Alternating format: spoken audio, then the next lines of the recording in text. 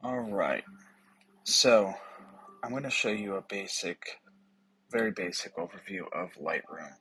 Now, I'm on the Mac version, but uh, it should not make a difference uh, too much with the Windows version here. I'm not a professional YouTuber or anything like that, so this is going to be a one take, you know, kind of thing here.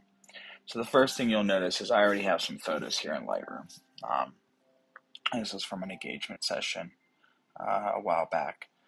Um, so you have kind of a few sections here. You've got your top bar, which has your library where you can quickly sort through photos.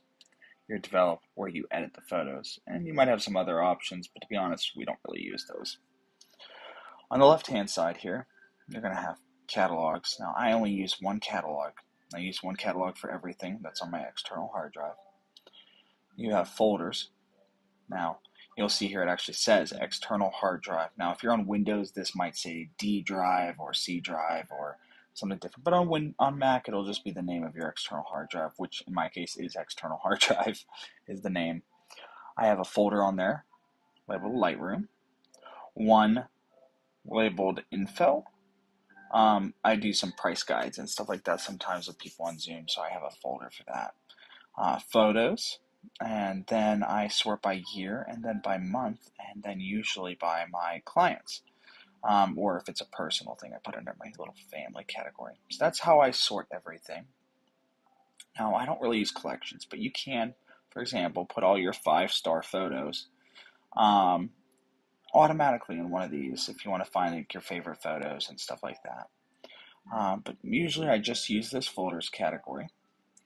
Now, um, I'm going to run through as if I was importing some photos here. Um, now, I actually don't have any photos on my memory card, but I'm going to walk you through it as if I did here, okay? So the first thing you want to do is, once you're open to this page, you are going to put your SD card into your computer, or you're going to plug your camera in if you're doing it that way. I'm going to come down here to where it says import and you're going to get this full main page. Now, if you don't have this, you're going to get this screen here. Click this drop down to get the full version. I think that's honestly just easier. So it's asking me over here, where is the source? So um, in this case, I do not have, you know, my memory card on here, but if I did, uh, it would show up and you would click on your memory card for your computer. Now, um, let's see here. I am just going to for this test, what should I do here? I'm not going to click anything over here. Wait, you know what? Give me one second. Um, again, this is all one take. I, this isn't meant to be professional or anything like that. So I'm just going to grab some photos um, for my personal category here. Let's grab a picture of my son because uh, he's really adorable. I'm going to grab two of those. That's just on my personal collection, just so we can use that for example. So you can ignore that step. So you'll see here, if this was a memory card, you click your memory card and you'll get all your photos under here. For this example, I've got two photos and I always choose copy as DNG. This will copy the RAW files if there's RAW files or just copy the JPEGs if it's just a JPEG. Um, and if it is a RAW file to convert it to a DNG, which is a different type of RAW file, that'll save you some space and it'll run a little bit better in Lightroom. So now that we have it copy as DNG, which is what we want to do with the files, where the files are coming from, and what files we're selecting, which is all of them, we can choose where do we want it to go under the destination header here. So I don't want to put it under uh, one of the weddings I did. I would probably go under, um, actually, I'd probably start a new month because I did not have August set up here. So you can actually right click where it says your a folder above where it says 2023. Create new folder, and I'm going to name it August. Okay, um, and I'm going to choose that as my folder. So you'll see it'll create a new folder there. This is just how I like to organize it. Now you can do it any way you want, but um, once you have it selected where it's going, where it's coming from, and the photos that you want, you can go ahead and down here and select import.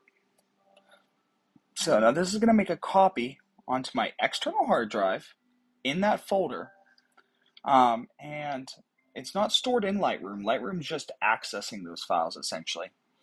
And um, it's just telling it, hey, this is where those files are. Okay? So that's how you import files. It's pretty straightforward. Um, you'll see if I go over to my external hard drive, my actual computer part, not on Lightroom, you can actually see these files are stored exactly where they said under Photos, under 2023, under August. But it's better if you do it through Lightroom than doing it manually because that way Lightroom knows where everything is. Okay? So then you want to go through and you go under Develop module and you can start going through and playing with the sliders. Now, the way I like to do it is I like to go top to bottom here. I don't tend to use a whole lot of presets. I tend to go through the basic, the tone curve sliders, and I like to leave it on solo mode, which makes it so that when you select one, you go to the next, it closes the one above it so that you don't have too much mess down there. Now, let's say, for the sake of this, because I'm trying to keep this short, my baby's crying. Uh, speaking of, let's say we've finished with this and we want to export this file. All you have to do is double click to bring back to main library after you select the library folder there. You can select multiple photos at once by holding down the command button or the control button on Windows, I believe, while selecting multiple photos. You can click export and export, and these are going to be your settings. Now, you can choose where you want it to go to your desktop folder, for example. You can choose if you want to rename it. You can choose if it's a video, some video settings. I don't do video. I usually do a 90% quality JPEG and sRGB, which is what most places are going to want for online. Um, and most phones are going to want that too. Most places are going to want that. Now, if you're uploading it to Facebook, you could do resize to fit long edge 2048. Or if you're uploading it to for clients, you're going to want to leave this turned off completely and just set it to 300 dpi pixels per inch and let it just stay the full quality of that image. You can add some sharpening in here as well and watermarking if you want to add some watermarking. Otherwise, you're going to go ahead and hit export and it's going to spit those files out for you. I'm sorry it has to be so quick, but my baby's crying and I got to go get him. So I hope this at least answers some basic questions.